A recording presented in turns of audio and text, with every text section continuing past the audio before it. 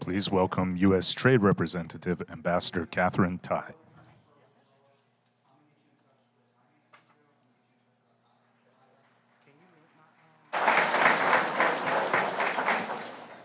All right. It's great to be here with all of you. Good afternoon.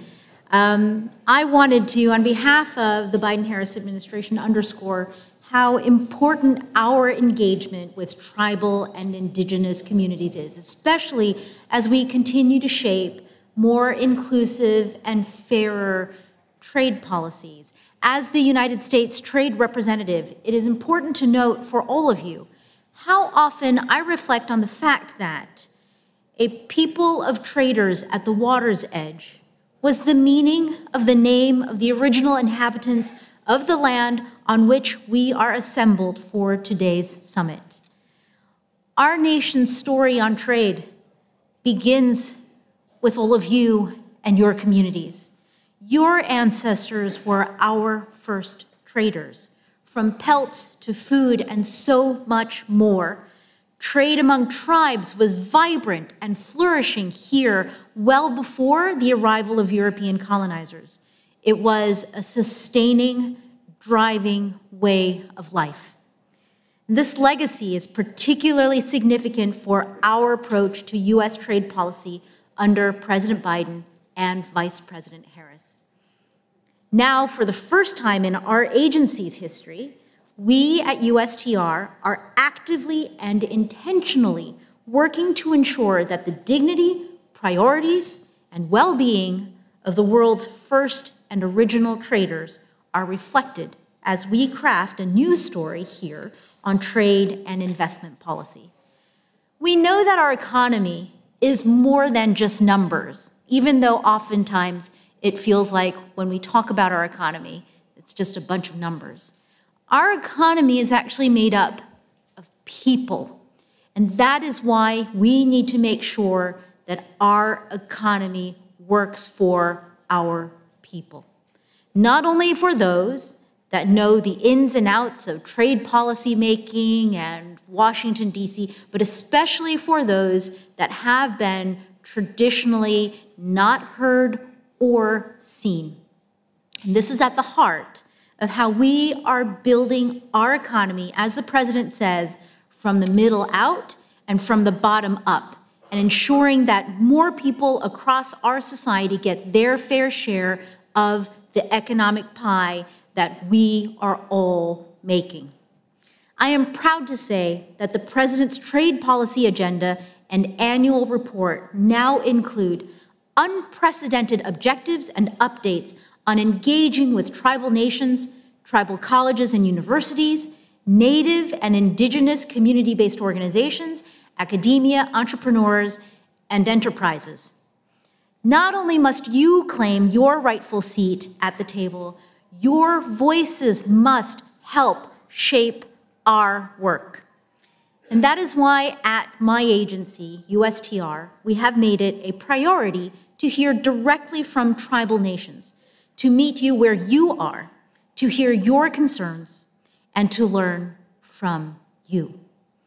One of the first actions that I took after being confirmed as US Trade Representative was to host tribal consultations with tribal leaders in what many believe were the first ever in USTR's 60 year history. They are now an annual standard. And this is really important because our approach to trade is grounded in equity, fairness, and respect. If done right, trade can be a force for good to empower working families and underserved communities. In our tribal consultation meetings and discussions, we have learned so much from you.